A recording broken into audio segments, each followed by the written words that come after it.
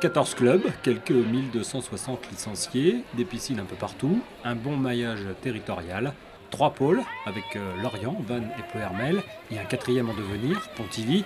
La natation morbihannaise se porte bien, voire trop bien. On arrive presque au maximum euh, de, ce qu'on peut parce qu'avec les créneaux qu'on a, euh, les lignes sont bien remplies. Donc là, on ne peut pas, on peut difficilement en prendre d'autres. On a les créneaux assez réguliers pour le club. Donc euh, on arrive à assez bien gérer. Mais c'est vrai que si on pouvait avoir euh, une heure ou deux heures de plus, ça serait, ça serait pas plus mal. On a le bonheur à Vannes d'avoir des, quand même beaucoup, beaucoup d'horaires de piscine, mais on, partage quand même avec les, autres clubs. Alors souvent on est deux clubs en même temps à s'entraîner. Mais bon, il faut partager un petit peu. On a des problèmes de créneaux, puisqu'on ne peut s'entraîner que le lundi, le vendredi et le samedi. Mais j'ai réussi à faire passer euh, le mercredi aussi, en plus, pendant le public. Alors on voit des nageurs rapides euh, entre les euh, nageurs de public. Le créneau, cet espace-temps accordé aux clubs de natation dans les piscines municipales ou intercommunales, c'est le nerf de la guerre. Qui dit créneau occupé par les clubs dit moins de billets grand public vendus. Je comprends qu'ils euh, ont besoin de rentabiliser leur structure parce que maintenant les collectivités, euh, c'est une question financière, hein, c'est tout à fait logique. Maintenant, ce que j'aimerais bien, c'est qu'on prenne en considération euh, ben, notre sport, qu'on ne soit pas en conflit d'intérêts sur une structure comme une piscine. On comprend bien que c'est ouvert au public mais bah, qu'on laisse la possibilité au club de s'exprimer, d'avoir des créneaux horaires pour pouvoir euh, réellement faire des entraînements décents qu'on ne se retrouve pas avec 25 ou 30 enfants dans une ligne d'eau, c'est pas concevable, on ne peut pas être productif et qualitatif en même temps. Chaque club est tenu d'organiser au moins deux compétitions par an, ce qui correspond à autant d'heures de bassin non commercialisables pour la collectivité. La tentation est donc grande pour celle-ci de se faire dédommager.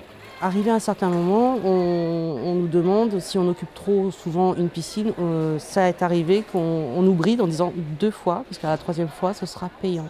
Il faut savoir que dans notre fonctionnement, on n'a pas d'entrée, on n'a pas de public, ça reste euh, un sport convivial. C'est les parents, les, grands-parents qui viennent, euh, ou les amis, hein, qui viennent voir les nageurs. Donc nos ressources sont assez limitées et si on commence à louer les structures, je crains qu'en termes de budget, on n'arrivera pas à suivre euh, à terme. Le budget, c'est l'autre nerf de la guerre. Donc déjà, il y a les adhérents. Euh, c'est la, grosse manne financière, la grosse rentrée d'argent. Après, il y a les, on a quelques partenaires. On essaye euh, d'en avoir de nouveaux. Mais bon, c'est surtout les supports qui nous manquent pour avoir de gros partenaires parce que la piscine, la piscine n'est pas à nous. Et donc on ne peut pas mettre de panneaux à l'intérieur, donc euh, c'est pas évident d'avoir de partenaires. Euh, nous on n'est pas riches, euh, comme actuellement beaucoup de clubs, mais on arrive à équilibrer quand même les comptes parce que la mairie nous fait confiance. Ils voient bien qu'on porte beaucoup sur la formation.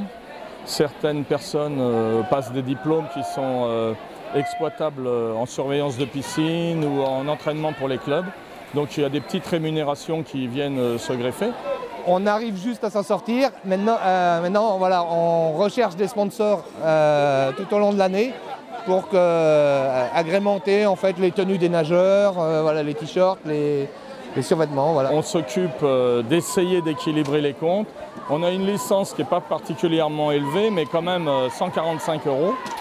Et comme on a plus de monde, ben, on arrive en étant bien organisé à boucler la saison sur un zéro arriver juste au-dessus de la ligne de flottaison, tout en étant compétitif. C'est le challenge des clubs, clubs qui ont vu émerger quelques talents. Claire Bourse à Plumeur, partie à Brest, Léna Bousquin de Vannes, ou encore Géraldine Andrieux et Valérie Bellego. Aujourd'hui, Julien Pichot et Arsène Olivier sont de beaux espoirs, mais il est quasi acquis qu'il leur faudra partir pour franchir un cap que ne leur permettent pas d'atteindre leur structure. Nos très bons nageurs sont obligés d'aller nager dans des clubs extérieurs. Euh, je, me comprends, dans des clubs comme Bordeaux, euh, comme Nice et compagnie, enfin des Marseille, il faut, aller, nager ailleurs. Arriver à un certain niveau, on ne peut plus entraîner ici. Donc on est un petit peu obligé d'accepter un niveau régional, voire euh, interrégional, mais il ne faut pas trop espérer nationalement. Où là c'est des fusées, hein, c'est des, des, champions de 2 mètres, 100 kilos, enfin ceux qu'on voit à la télé lors des Jeux Olympiques.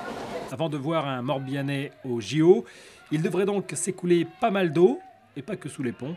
Mais d'ici là, la natation morbihannaise aura fièrement formé bon nombre de jeunes passionnés.